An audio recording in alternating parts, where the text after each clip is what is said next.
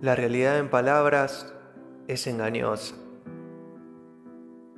La idoneidad y su esencia representan tal vez el grado fortuito de su significado.